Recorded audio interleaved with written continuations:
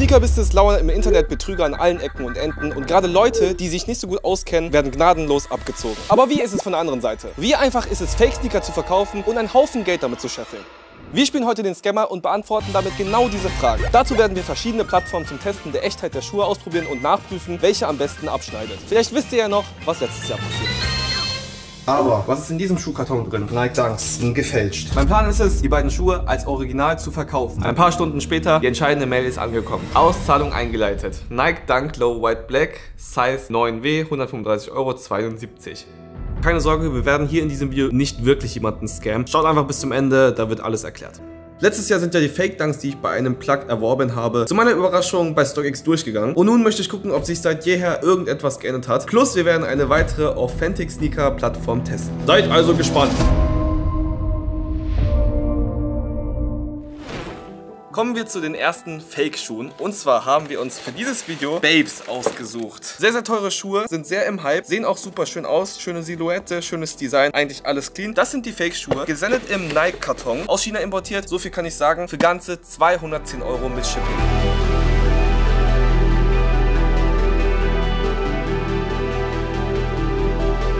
Ist auf jeden Fall richtig viel Geld, selbst für Fake-Schuhe. Aber das sollen halt eben 1 zu 1 Replikas sein, also komplett authentisch. Man soll keine Unterschiede sehen.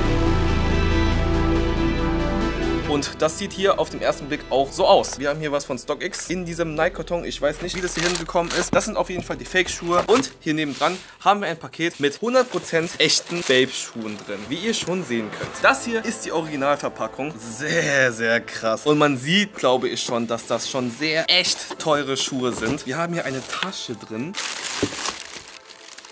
Hm. Scheiße. Habe ich jetzt den falschen Schuh gekauft? Nein, ich glaube, es gibt zwei Versionen, ne? Einmal glänzend und einmal nicht glänzend. Das ist jetzt sehr cringe, aber egal. Auf jeden Fall. Können wir das auch so einfach mal vergleichen. Das ist ja kein großer Unterschied. Das hier sind die Originalen. Für ganze 440 Euro habe ich dafür ausgegeben. Für US 5.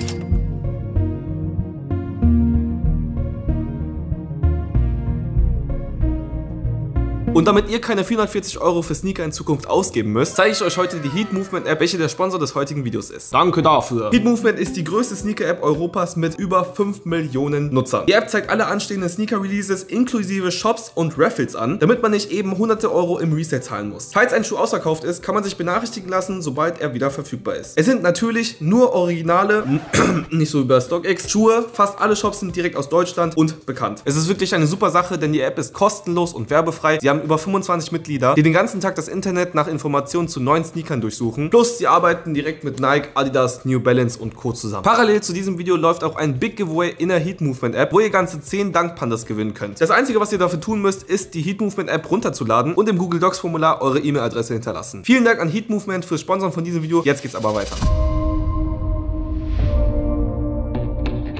Nee, das ist hier alles 1 zu 1, also for real. Das hier ist gleich. Das hier ist auch gleich. Schnürsenkel sind gleich. Punkte sind gleich. Das hier ist meistens anders. Komplett gleich, Digga. Echt? Ja, vor allem hier auch diese Punkte hier und das hier und das ist gleich. Das Einzige, was mir hier jetzt auffällt, ist der Abstand hier von dem Punkt. Aber es kann auch an der Größe liegen. Ich hätte mir vielleicht mal Schuhe in gleicher Größe bestellen sollen. Wir haben hier noch einen Sticker, hier aber nicht. Aber selbst, guck mal, hier ist so ein Babe-Logo. Genauso wie hier. Crazy. Guck mal, was ist mit den Schnürsenkeln? Guck mal, da sind so Sterne drauf und hier sind auch Sterne drauf aber selbst auf die Sterne haben die geachtet. Das sind hier so goldene Sterne und hier sind es so silberne Sterne. Ich denke aber nicht, dass es ein Indiz ist, dass es fake ist, sondern weil es einfach ein anderes Modell ist. Das Metall-Badge hier ist auch 1 zu 1 gleich. Sehr, sehr krass gemacht. Den Schuh gibt es tatsächlich in der Form, auf jeden Fall. A Bathing Ape Babe Star Low heißt er auf jeden Fall. Das Einzige, was jetzt hier aufgefallen ist, dass die Löcher hier etwas anders sind. Hier ist das Loch so ein bisschen mehr an der Ecke des Sterns und hier ist das Loch ein Ticken mittiger. Kann man auf jeden Fall mal einreichen und gucken, wie StockX reagiert. Natürlich an der der Stelle, ich bin kein Profi, aber dafür gibt es ja Profis, wie StockX. Und an dieser Stelle müssen wir leider einen Cut setzen, denn mir ist erst nach der Aufnahme aufgefallen, dass ich die Babes ja nirgendwo verkaufen kann. Denn schaut euch die Verpackung an, die ich bekommen habe. Ich brauche zu den 1 zu 1 Schuhen auch eine 1 zu 1 Verpackung und so ging das natürlich nicht. Deshalb habe ich mich kurzerhand entschieden, meine Fake-Dunks, die ich schon im letzten Video an StockX versendet habe, nochmal an StockX zu senden, um wieder zu gucken, ob sie auch diesmal durchgehen. Bevor wir das zweite Fake-Paar inspizieren, habe ich zwei Replika-Verkäufer für dieses Video gefragt, ob sie mir das ein bisschen genauer erklären können, wie überhaupt das ganze Fake-Sneaker-Business abläuft. Das sind die Antworten. Was geht ab? Yunus mein Name und zwar handele ich schon seit Jahren mit Replika-Sneakern und Klamotten. Ich habe mir einen großen Shop aufgebaut auf Instagram namens The Baron Plug. Zu meinen Kunden gehören viele aus der Deutschrap-Szene und aus dem deutschen Influencer-Bereich, deren Namen ich selbstverständlich nicht nennen darf. Wie funktioniert das StockX Replica Reselling Business genau? Das Wichtigste ist euer Kontaktmann, besser gesagt die Produktion in China. Sie sollte sich selber mit den Schuhen auskennen, mit allen Merkmalen und allen Details, weil ansonsten bringt euch das gar nichts. Mehr kann ich dazu nicht sagen. Bist du mit dem Verkaufen von Replika-Sneakern schon mal hingefallen? Nein, bin ich nicht. Das liegt einfach an dem Grund, dass es heutzutage so viele Versandmethoden gibt, wie zum Beispiel der Dreiecksversand. Ja, da wird das Paket von China an eine bestimmte Stelle von Deutschland geschickt. Da wird das Paket in ein deutsches Paket umgepackt und an eine Adresse geschickt. Sprich, du kriegst ein deutsches Paket, obwohl du aus China bestellt hast. Die zweite Versandmethode wäre das Paket von China nach Holland und von Holland nach Deutschland. Das sind eigentlich so die sichersten Sachen. Klar kann man da auch gecatcht werden, aber bis jetzt zum Glück nicht passiert. Wie viel Profit hast du bereits mit Replika gemacht? Zu der Frage, wie viel Profit ich gemacht habe mit den Replikas und mit den Klamotten, möchte ich nichts zu sagen. Das Geschäft ist sehr lukrativ auf jeden Fall. Was bei mir im Shop noch sehr, sehr gut läuft, sind Frauenhandtaschen. Ich kriege sehr viele Anfragen von Damen und das ist geisteskrank, was da abgeht und was für Summen die hinterlassen. Also das ist nochmal eine komplett andere Welt von Replikas.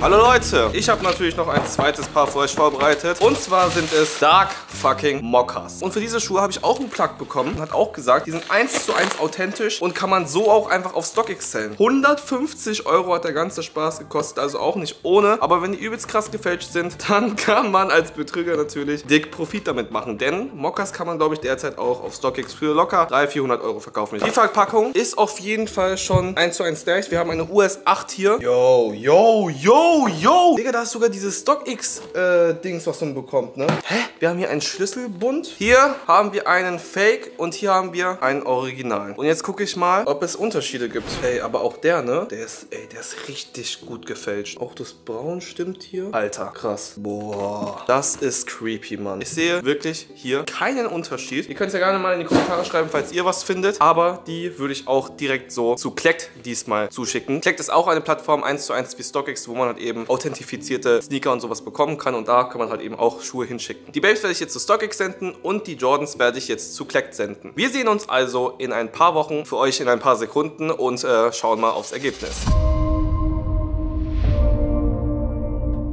Also das mit dem Verkaufen auf den Plattformen geht eigentlich super einfach. Sowohl bei Klekt als auch bei StockX. Ich drücke hier einfach auf Sell. Dark Mocha, der ist neu. US 8 hatten wir. Und wir können den hier verkaufen für, wir schauen mal die Sales History an. Der wurde gestern für 403 Euro verkauft. Das heißt, wir können den für 400 Euro verkaufen. So, you're the first line into Sell. Das ist unser Payout. Das ist das, was Klekt bekommt. Das ist das Shipping und der wird dann sozusagen für 473 Euro verkauft. Zack, Preview. So sieht das aus. Und dann hier My Payout. Okay, ihr seht hier, meine Listung ist aktiv. Und jetzt wartet man eigentlich darauf, bis der Schuh von irgendjemand auf Klekt gekauft wird. Ich werde aber nicht warten, bis ihn irgendjemand kauft, denn ich will ja nicht, dass hier irgendjemand den Fake-Schuh auf Klekt kauft, falls er durchgeht. Deswegen werde ich jetzt einen zweiten Account auf Klekt und auf StockX erstellen und die Schuhe selbst kaufen. Das heißt, die beiden Schuhe werden jetzt zu StockX und Klekt gehen, überprüft und im besten Fall werden sie dann wieder weiter verschickt, wieder zu mir auf eine andere Adresse, damit hier keiner irgendeinen Schaden nimmt.